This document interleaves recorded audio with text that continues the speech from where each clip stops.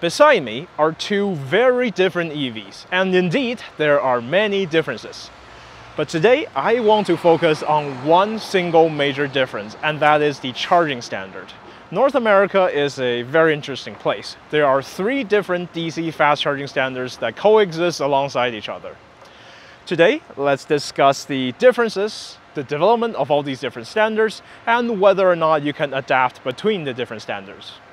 I hope you enjoyed this video and thank you to Lectron for sponsoring today's video.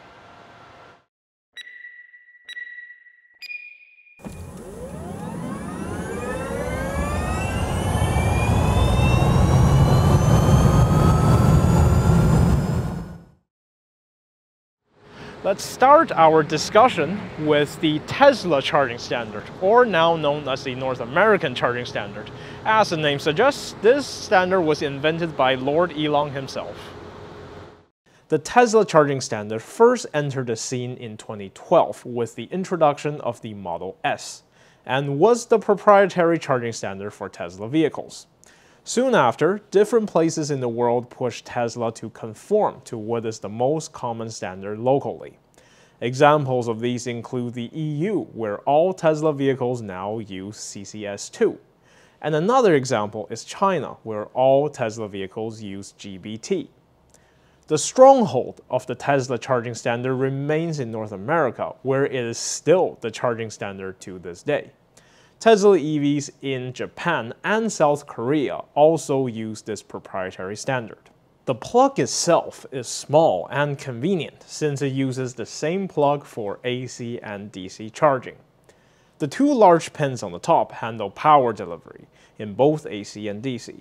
The CP and PP pins handle communication while the G pin handles grounding.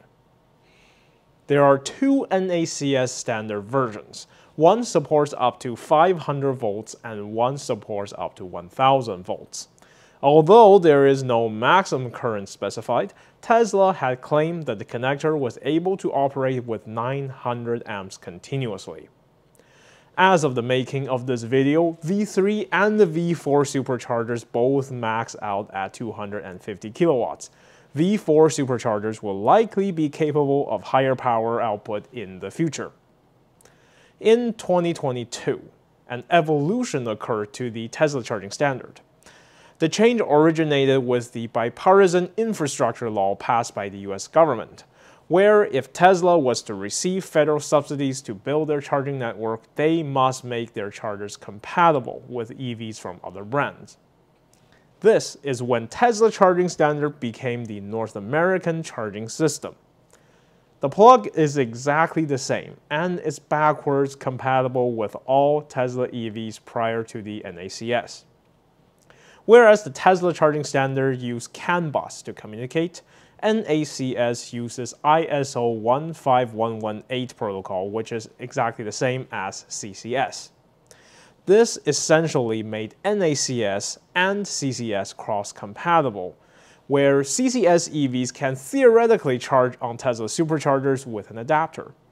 For Tesla EVs built after 2021, they can charge on CCS chargers using an adapter as well, one of which is made by Lectron. Okay, it is time to show you how to charge your Tesla using a Lectron CCS to NACS adapter. It is actually quite simple. So basically, first step, you take your CCS plug, then you put the CCS plug right into your Tesla's adapter, and then this NACS end goes into your vehicle, like so. Okay, and once that is in, you are ready to start charging. Now, why would you want such an adapter? Supercharger network coverage is actually pretty good nowadays, but there are still places where um, there are no superchargers, but there are CCS chargers. So if you want to take your Tesla and venture out to those places, you definitely need one of these adapters. Now make sure if you want to use this adapter your Tesla is compatible with the CCS charging standard. That is usually any Tesla vehicle that comes out after 2021. So if you want to use one of these adapters, just make sure your Tesla is compatible. Of course, if you're interested in this product, we will have a link in the description below and click on that to see where you can buy one of these. Even though NACS was started as a proprietary standard for Tesla, it is going to be the future EV charging standard for all of North America. Ford is the first to announce that all their future EVs would come with NACS charge ports, and this announcement was made in 2023. Soon after, all manufacturers follow suit, making the same announcement that all their future EVs will have NACS ports.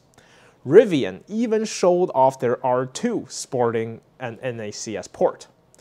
By the looks of it, Tesla's NACS have won the North American charging standard war. Just because it looks like that NACS has won the war of charging standards in North America doesn't mean we can ignore the rest. Let's move on to the other leviathan of charging standard in North America, the CCS. CCS stands for Combined Charging System and found its beginning in the early 2010s by SAE and the European Automobile Manufacturers Association. The plan was to add DC connectors to the existing AC charging standard, and the first proposal for CCS was published in 2011. In late 2011, Audi, BMW, Daimler, Ford, GM, Porsche, and VW agreed to make CCS a reality in mid-2012. In June 2013, VW built the first CCS DC fast charger in Wolfsburg. It is important to note that there are two different types of CCS standards, Type 1 and Type 2. Type 1 is used in North America and Japan, while Type 2 is used elsewhere, most notably in the European Union. As you can see, they have different pinouts.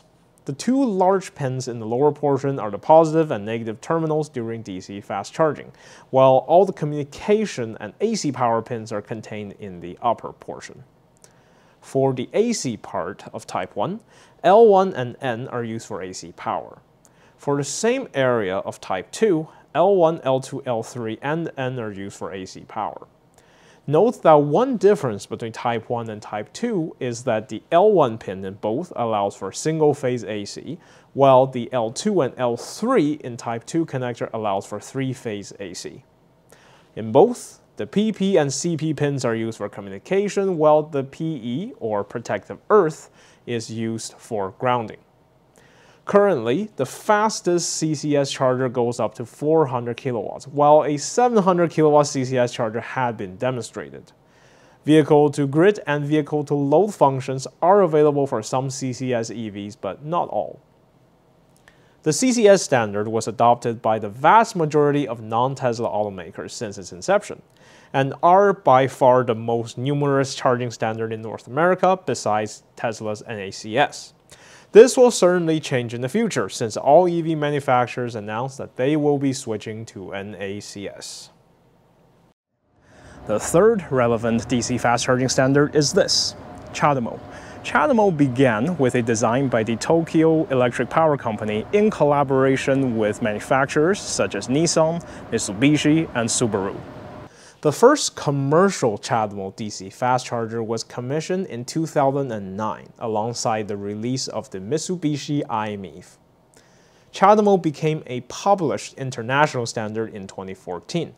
Its wide adoption was prevented by the European Union making the CCS their charging standard. However, CHAdeMO remained in many parts of the world.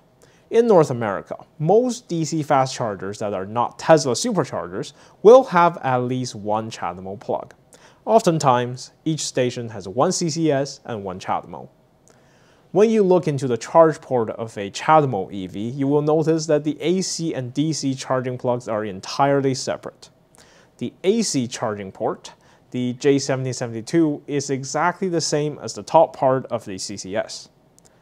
Let's take a look at the DC part of the charge port. The two large pins in the middle are the positive and negative terminals for DC power. The FG pin is used for grounding and the rest of the pins are used for communication.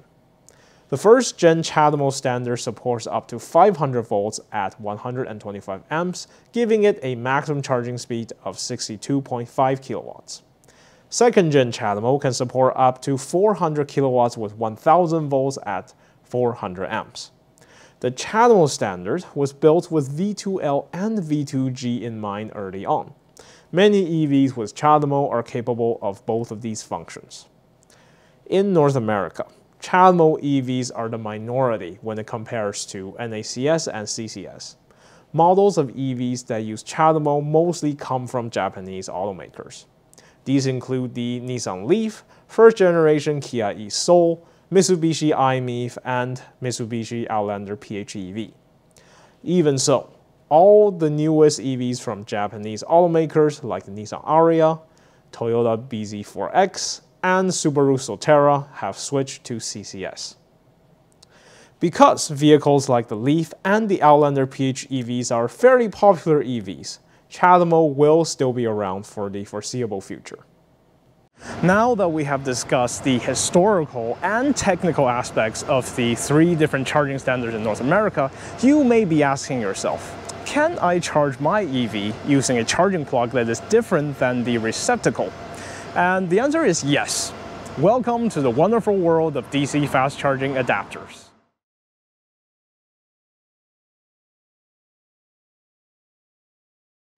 Tesla EVs can charge on the CCS plug using a CCS to NACS adapter. As you have seen earlier in the video, a CCS compatible Tesla vehicle can charge using a CCS plug as long as you have an adapter. The important thing to remember is that your Tesla needs to be new enough, uh, year 2021 or newer. Tesla vehicles can also charge on the CHAdeMO plug, and this feature had been available for a very long time. The adapter became available around 2014, which adapts CHAdeMO to the Tesla charging standard. This adapter had been discontinued in Canada, but seems to be available in Australia. It is quite pricey, and this adapter has limited charging speed of 43 kilowatts, which is pretty slow. Since the CCS adapter will allow for much faster charging, the CHAdeMO to Tesla adapter is now obsolete.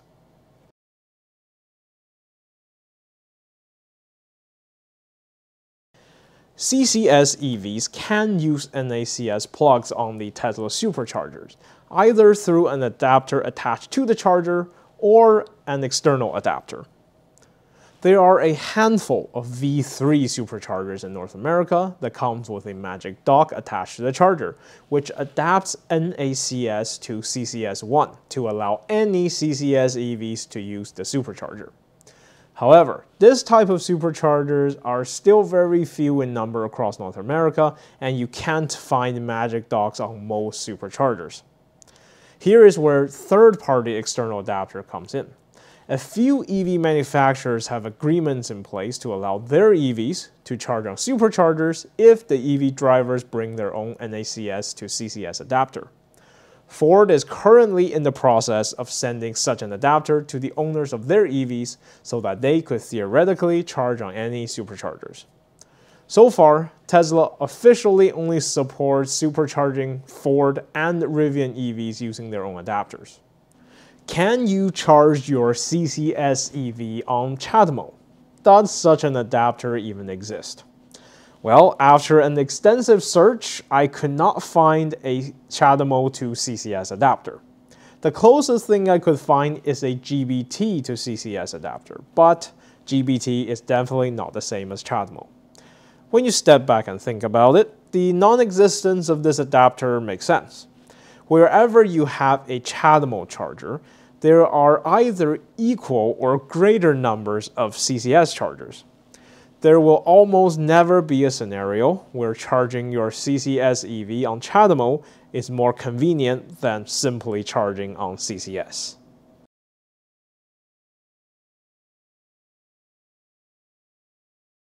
Last but not least, let's talk about CHAdeMO EVs. Which other charging standards can they use?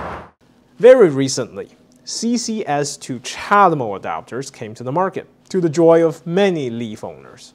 Some of these adapters could be found on Chinese marketplaces like Alibaba. A2Z also makes such an adapter, and it's really pricey. Reviews and reports on how reliably these adapters work are still sparse. In the distant future, we do not know if CHAdeMO is still going to support it when NACS takes over. Perhaps such an adapter will become useful at that time. Either way, there is a way for CHAdeMO EVs to charge using CCS. What about charging a CHAdeMO EV using NACS? So far, I could not find an NACS to CHAdeMO adapter. And even if there is one, compatibility will be dependent on Tesla. I had the idea that if we combine a NACS to CCS adapter with a CCS to CHAdeMO adapter, maybe there's a small chance that this could work. Well, joking aside, there is currently no direct way to charge a CHAdeMO vehicle using a Tesla Supercharger's NACS.